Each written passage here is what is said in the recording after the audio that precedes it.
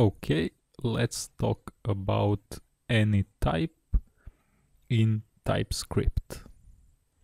It's a good practice when you're defining variables into TypeScript that you give to your variables a type, whether it's number type, string type, or maybe some complex object type it's always good practice to give to your variable a type.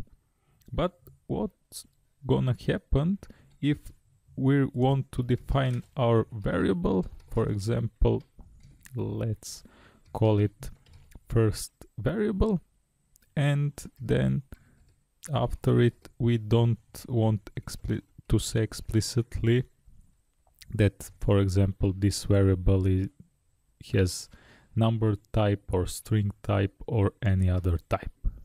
What will happen if we have our definition of our variable like this? The thing is that TypeScript will assign type any to our variable and that any type will be declared will be assigned here implicitly. So we will have that our variable has any type type and it's assigned implicitly. Then we could also assign it explicitly. Let's say for example second variable.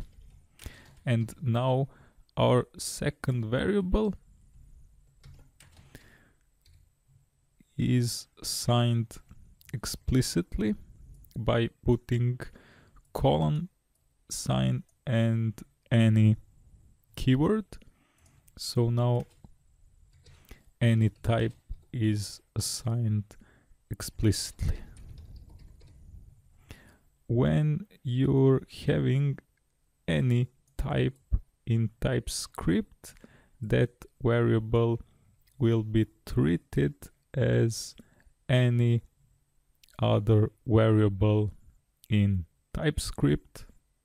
It will be allowed to act as any standard JavaScript variable and it can be set to any value from simple types and simple variables to very complex objects and so on.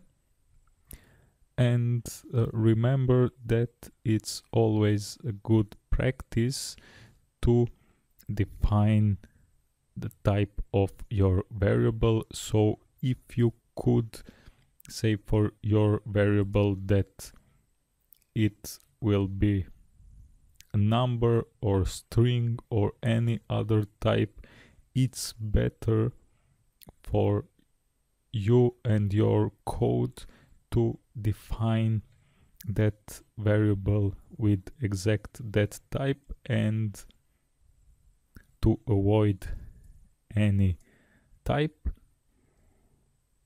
That's all for now in this lesson. Thanks for watching Bye bye.